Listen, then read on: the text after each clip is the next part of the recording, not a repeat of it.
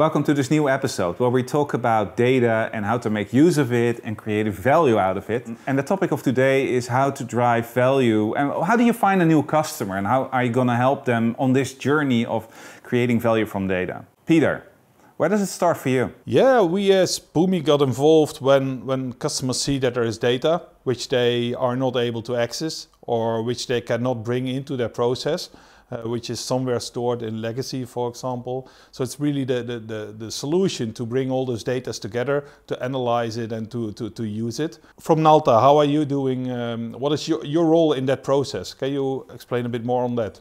Uh, for, for us, it's really important to get involved very early stage. Mm -hmm. So of course, we love to uh, receive a new customer to our customer set. Uh, but for us, it's really about building up a partnership and invest in a new relationship. And stage one is really getting to know their business.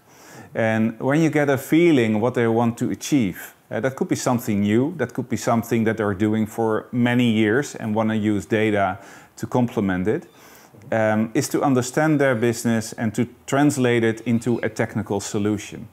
But I think um, the best lesson learned is meeting a new customer, and getting to know them. They want to uh, build a world. They want to climb the Mont Ventoux in one day, um, but they have to start at the first base camp keep it tiny and small and really find what we call the minimal viable product. So what is the first thing we can build that you can drive value from? Uh, that's, that's great to hear, but is it that the customer is coming to you with an idea, we want to bring this to the market and we don't know how to get the information?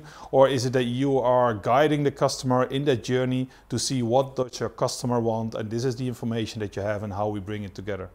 It could be both, you know.